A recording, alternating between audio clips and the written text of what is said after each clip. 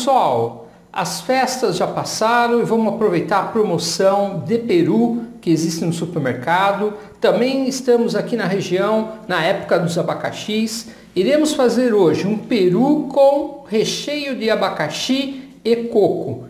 Vamos iniciar fazendo a marinada no nosso peru. Para fazer a marinada, nós vamos fazer o suco de abacaxi, 2 litros de suco de abacaxi. Estou com dois abacaxis aqui porque eu vou colocar mais rodelas em volta. Basta apenas um abacaxi. Vamos retirar a casca, vamos utilizar a casca do abacaxi para fazer geleia e também vamos usar o caldo da casca do abacaxi para fazer um bolo de casca de abacaxi. Para iniciar, vamos precisar do suco de um limão, 2 litros de suco de abacaxi para fazer a marinada. E vamos colocar duas colheres de sopa de sal. Se você quiser, pode acrescentar salsinha e até pimenta. O sal também você pode aumentar se quiser. Duas cebolas, vamos utilizar duas cebolas também. E depois vamos então separar a casca, deixar a casca por 12 horas na água Enquanto temos 12 horas de marinada virando o peru a cada 6 horas de lado, vamos deixar as cascas por 12 horas descansando na água, para depois fazermos a nossa geleia de casca de abacaxi. Vamos então agora juntar tudo, bater no liquidificador e preparar a marinada do nosso peru com abacaxi e coco. Já lavamos muito bem o peru, peru está bem lavado, retiramos miúdos que veio junto com o peru, já juntamos os ingredientes do tempero aqui no liquidificador, o suco de um limão, duas colheres de chá de sal, duas cebolas e o abacaxi para fazer o suco de abacaxi. Vamos colocar agora nesse recipiente e deixar marinar 6 horas um lado, depois virar o peru e marinar por mais 6 horas. Vamos colocar aqui o nosso suco de abacaxi e deixar marinar por 12 horas. As cascas do abacaxi foram bem limpas, lavadas e agora vamos reservar nesta neste outro recipiente, acrescentando água e vamos deixar por 12 horas. Depois de 12 horas, iremos fazer o preparo de nossa geleia de casca de abacaxi. Eu estou usando o abacaxi inteiro. Vocês podem cortar metade do abacaxi, reservar metade para o recheio, que eu vou falar mais tarde como faremos o recheio do nosso peru, e utilizar a outra metade para fazer a marinada, fazer o suco de abacaxi. Já coloquei a água, temos aqui então a casca que vai ficar por 12 horas para podermos fazer a geleia e o nosso peru com a marinada. Vou levar para a geladeira e depois de 6 horas vou mudar a posição do nosso peru. Vamos agora fazer os preparativos para o recheio do nosso peru nós iremos precisar de três pãezinhos e colocar em migalhas, fazer migalhas do pão. Vamos colocar no recipiente. Também pode ser aqui em torno de 8, 6 a 8 xícaras de migalhas de pães. Também vamos precisar de duas xícaras de chá, de abacaxi picado. Vamos juntar o abacaxi às migalhas.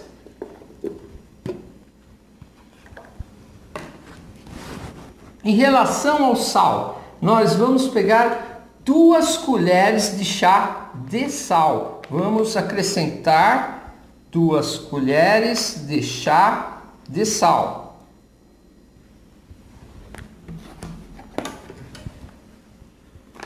100 gramas de coco ralado. Ou vocês comprem uma embalagem de coco ralado, ou compre o próprio coco e ralem o coco. Vamos utilizar 100 gramas. Ou cerca de duas xícaras de chá. Vamos colocar o coco ralado.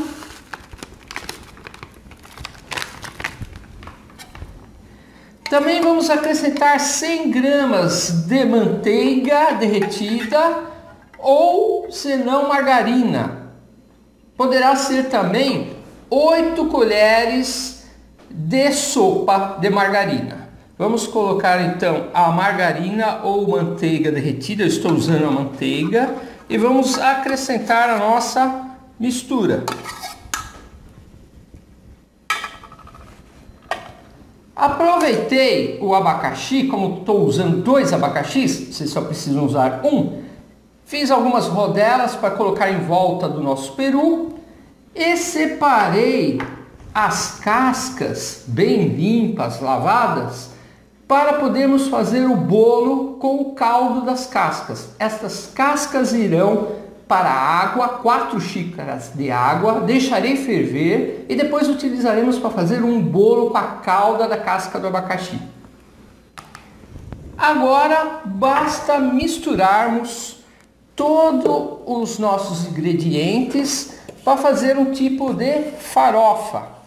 E vamos rechear o nosso peru com recheio de abacaxi e coco.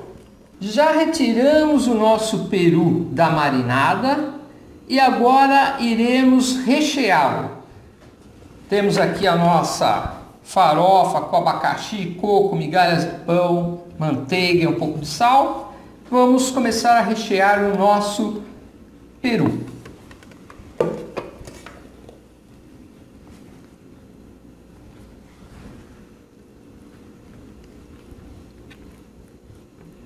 Terminamos aqui de rechear o nosso peru.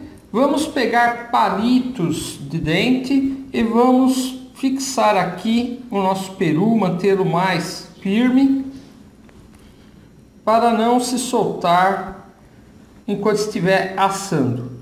Terminamos de colocar aqui, prender o nosso peru. Vamos colocar agora a marinada pelo pela nossa forma.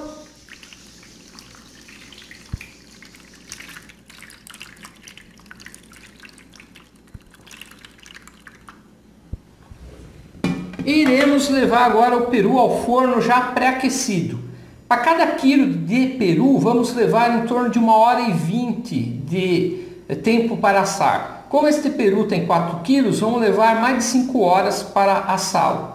Vamos colocar no forno e sempre regando o peru. Se ele começar a dourar muito, iremos colocar um papel alumínio sobre ele. Enquanto eu asso o peru, vou preparar a geleia de abacaxi e preparar a calda para fazer um bolo com as cascas do abacaxi. Estamos colocando aqui o peru no forno e iremos deixar assar por cerca de 5 horas, sempre regando o peru constantemente. Preparativos da calda para o bolo de casca, o bolo da calda da casca do abacaxi. Pegamos aquelas cascas bem limpas e colocamos numa panela com 4 xícaras de água. Podem ver aqui, nós temos agora o abacaxi, ele irá ferver, ficar em água fervente. Vamos deixar por cerca de 20 minutos fervendo a geleia das cascas de abacaxi. Iremos pegar as cascas que deixamos por 12 horas embebidas na água. Vejam aqui as nossas cascas. Vamos colocar no liquidificador e bater tudo. Vamos colocar todas as cascas no liquidificador.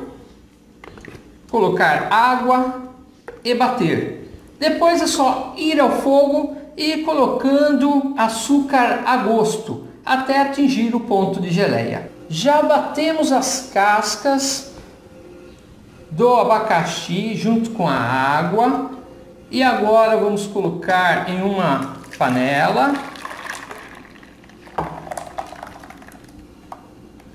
iremos acrescentar duas xícaras de chá de açúcar eu uso açúcar cristal Vamos colocar uma xícara, duas xícaras e vamos levar ao fogão para fazer a nossa geleia de cascas de abacaxi. Sempre mexendo até atingir o ponto de geleia.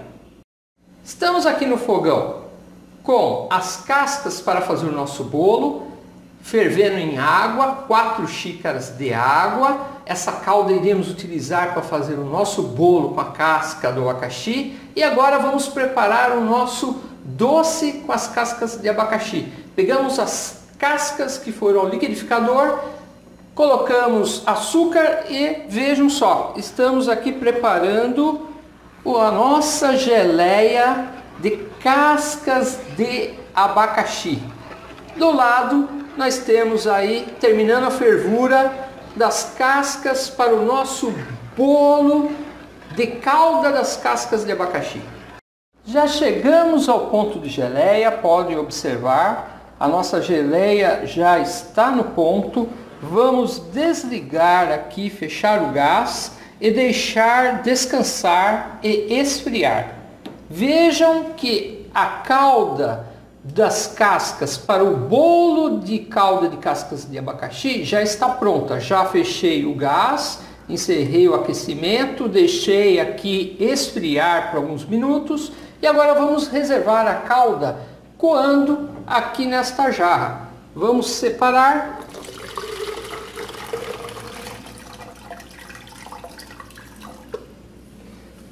e vamos guardar para fazer o nosso bolo com caldas de abacaxi.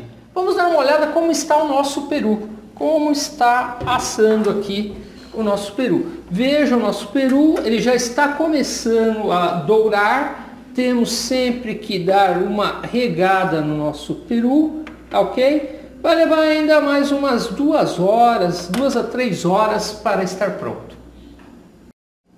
Já finalizamos a nossa geleia, alojamos a geleia no recipiente e agora vamos colocar abacaxi em volta do nosso peru para gratinar. Vamos deixar as rodelas de abacaxi por uns 20 minutos. O nosso peru já está quase pronto. Ele está assando há quase 5 horas. Vamos abrir e colocar as rodelas.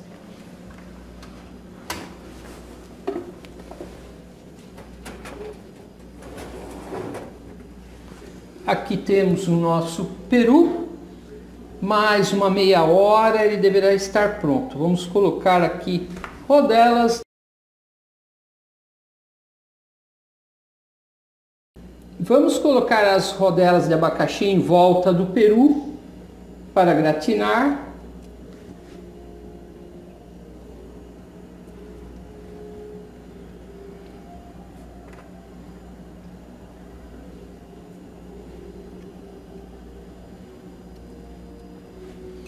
E deixaremos aqui por mais 20 minutos no forno. E agora vamos retirar o nosso peru assado com recheio de abacaxi e coco. Vamos encerrar aqui o assado e vamos partir para o bolo feito com a calda das cascas do abacaxi. Vejam só como ficou o nosso peru. Vamos retirar do forno. Temos aqui o nosso peru. Agora basta servi-lo e degustá-lo.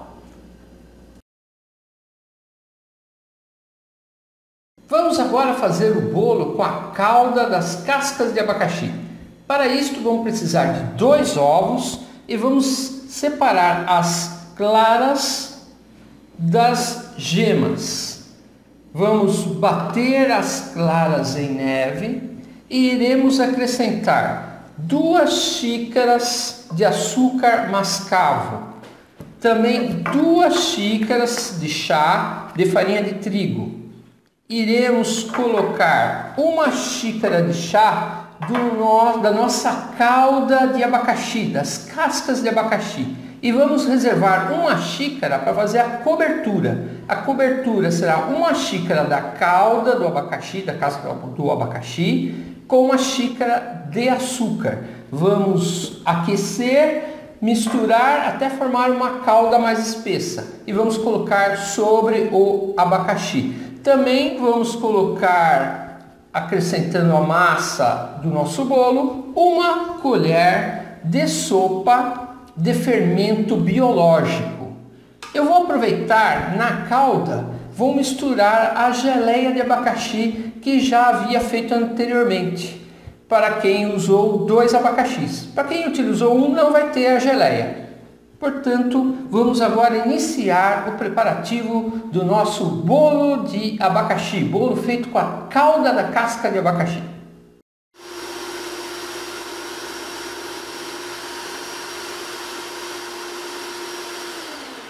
Já batemos aqui as claras em neve, agora vamos acrescentar as gemas e vamos continuar a bater a nossa mistura.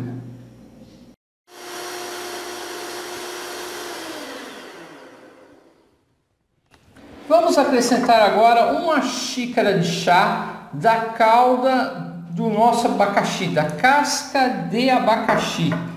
Vamos reservar uma xícara depois para fazer a calda. Coloquemos então uma xícara de chá da, do nosso suco, da nossa calda de casca de abacaxi. E vamos continuar com a nossa massa.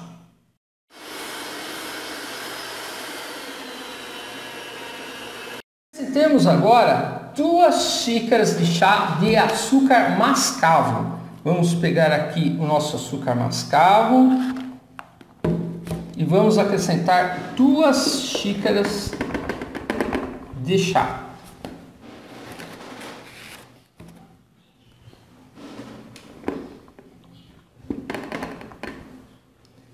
E vamos continuar a bater a nossa mistura.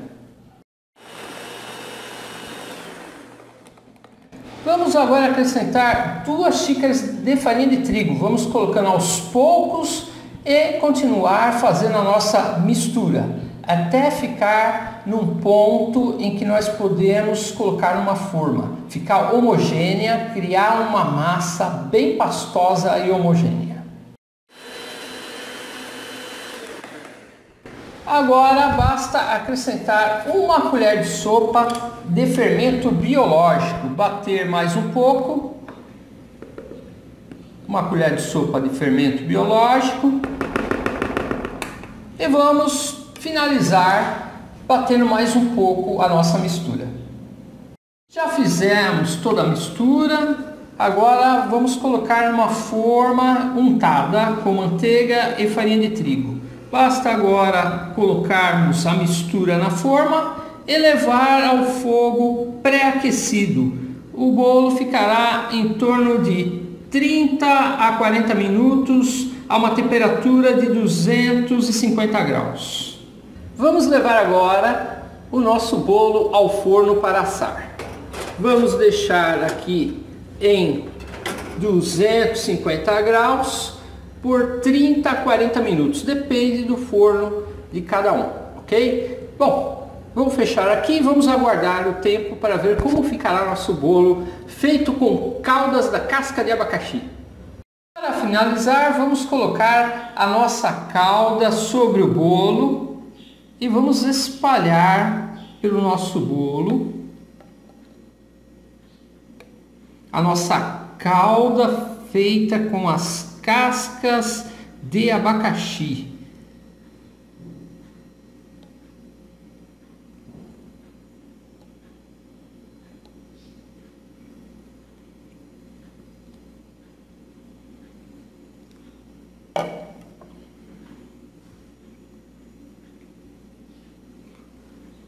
Pronto, já colocamos as caldas. Espero que vocês tenham gostado dessas nossas receitas. Em casa, o pessoal não gosta muito de carne sem sal, mas o nosso peru assado ficou muito bom, a carne ficou excelente. O que o pessoal não gostou mesmo foi da farofa. Eles não gostam muito do coco, nós é, colocamos uma quantidade é, de coco muito grande para o gosto da família. Eu deveria ter colocado um terço de coco ralado mas a receita ficou muito boa para quem não pode e quem não gosta de comida com muito sal. A nossa geleia ficou ótima, excelente. E agora vamos degustar o nosso bolo feito com a calda das cascas de abacaxi. Pessoal, até o próximo vídeo.